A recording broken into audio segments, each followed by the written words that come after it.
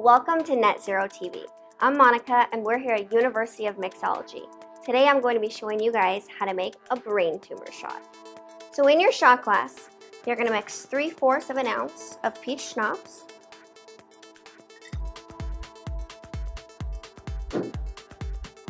a half an ounce of Bailey's, it's going to give it that creamy texture,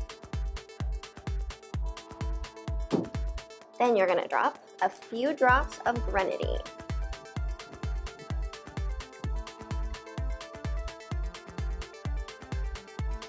And there you have it. The brain tumor shot tastes better than it looks. I'm Monica. Please subscribe, and I'll see you guys next week.